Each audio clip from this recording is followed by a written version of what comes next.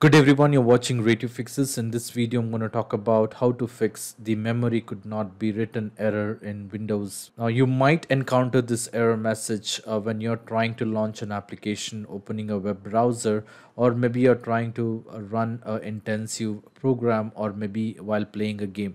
Now, there are a couple of steps which you could try to get this issue resolved. Now, the first step, what I would suggest you to do is I would suggest you to go and repair your corrupt system files. Now to repair your corrupt system files, you will have to open the command prompt. So in the search, you may go ahead and type cmd or you can type command prompt. You will see the best match results. Once you have the best match, select run as administrator so that your command prompt opens as an administrator in case if you get a user access control prompt you may go ahead and click on yes or continue on the screen once you have the command prompt open you will have to go ahead and type the command sfc space forward slash scan now and hit enter.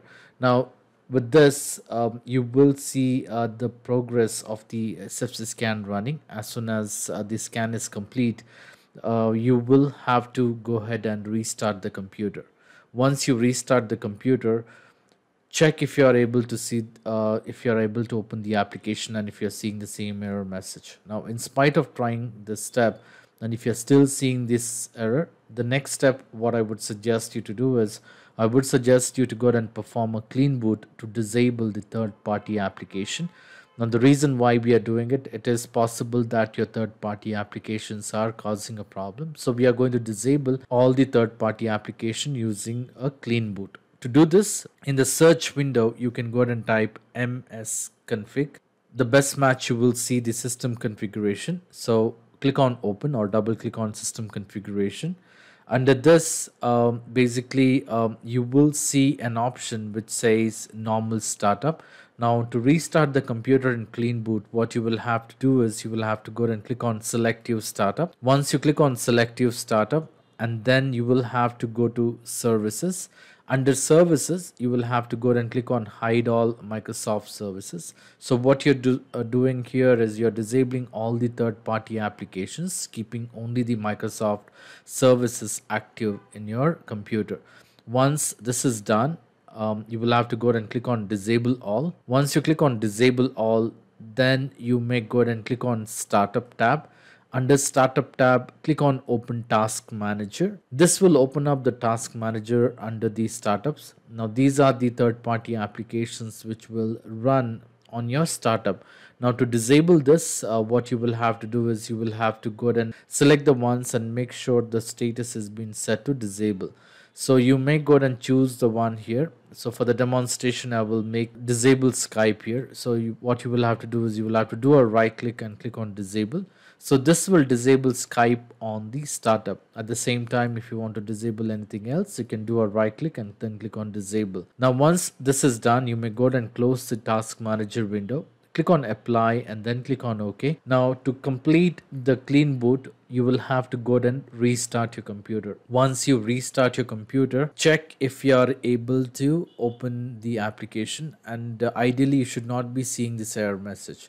Now, in spite of trying this step, and if you're still facing a problem, the next step, what I would suggest you to do is I would suggest you to run a memory diagnostic check. To run the memory diagnostic check, uh, you will have to, in the search window, you will have to go and type memory diagnostic check. As a best match, you will see Windows memory diagnostic. So click on it. You will see an option or a prompt which says check your computer for memory problem to do this um, what you will have to do is you will have to choose the first option with this what will happen is your computer will restart and uh, with the restart it will run the uh, memory diagnostic and check if you are facing any problem. So in case if there are any problem it would show up on the screen. It will tell if there are any issues related to your memory or if it is an issue related to your ram. It will try to uh, run the diagnostic and repair the problem by itself. Once it is done, you can uh, restart your computer. Once you restart your computer, uh, the next step, what I would suggest you to do is I would suggest you to check for the updates and make sure those updates are installed on your computer. To do this, you will have to do a right click on the start button and then click on system once you're on the system you will have to go and click on windows update on the windows update you uh, in case if there are any updates available you may go ahead and click on install. Otherwise you would see an option which says check and install the updates. So basically with that you it will your computer will check if there are any available updates for your computer. And once it checks for the updates you would see the list of updates. You click on install now. Restart your computer and check if your issue has been resolved. So with this uh, you should be uh, not with this you should not be seeing any error message. Now in spite of trying all this step and if you're still facing a problem i would suggest you to leave me a comment in the comment section so that i can come up with the possible solution.